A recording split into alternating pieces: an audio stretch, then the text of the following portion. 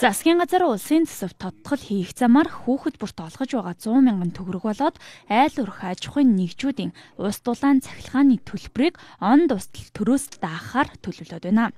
Төсөв тодтгол хийхдээ 700 гаруй тэрбум төгрөгийг эрүүл мэндийн салбарт зарцуулахар болжээ.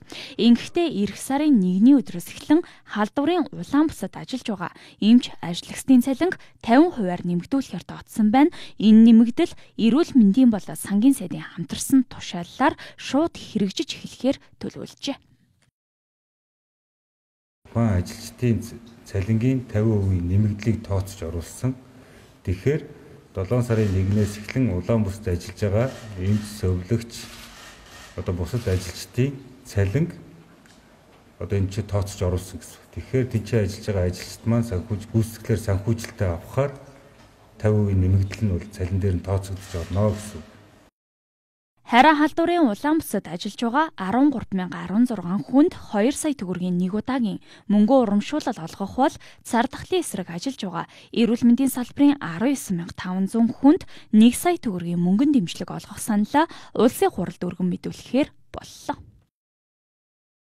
Яг өнөөдөр цар тахалтай тэмцэж байгаа буюу улаан бүсэд ажиллаж байгаа 13 мянган эмч эмнэлгийн ажилчдад нэг удаагийн 2 сая төгрөгийн тэтгэмж За мөн бусад одоо байгууллагад ажиллаж байгаа улаан бусад ажиллаагүй ч гэсэн эрүүл мэндийн салбарт ажиллаж байгаа 19.5 мянган ажилчдад нэг удаагийн 1 сая төгрөгийн тэтгэмж олгох За мөн улаан бусад ажиллаж байгаа эмч эмнэлгийн ажилчдад цалингийг одоо 50%-аар нэмэгдүүлэх ийм саналууд бол төсвийн тодтолд туссан байгаа.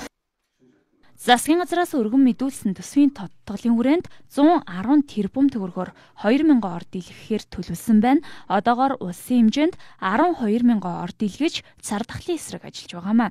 Орны хүртээмжийг нэмэгдүүлэхийн хэрээр боловсон хүчний асуудал сөхөгдөж байна. Тэгвэл эрсдэнд эмч нарыг нэмэлтээр ажилуулахад 3 гаруй тэрбум төгрөгийн төсөвт тодтгол хийх замаар шийдвэрлэх юм байна. Харин сайжруулсан түлшний үнийг хөнгөлөх айл өрхүүдийн цахилгаан дулааны төлбөрийг төрөөс даах ажлыг аж ахуйн нэгжүүд нийгмийн хариуцлагын хүрээндээ хийж байгааг онцллоо. Хаягдлын хураамжийг төрөөс төлөх шийдвэр явж байгаа. Энийг нь бол Эрдэнэ төлөвлөлтөөр нийгмийн хариуцлагын хүрээнд за мөн одоо нөгөө төвчж болох зардлаа хэмнээд одоо төлбөрийн төлөө явж байгаа. Энэ өөрөө үргэлжлэн гэсэн үг.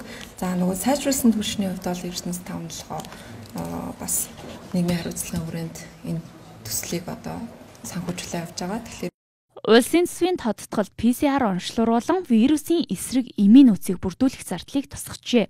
Нэг шинжилгээг 50 гаруй мянган төгрөгөөр хийдэг бол өдөрт 500 гаруй сая төгрөгийг зөвхөн шинжилгээнд зарцуулж байгааг эрүүл мэндийн сайд онцоллоо.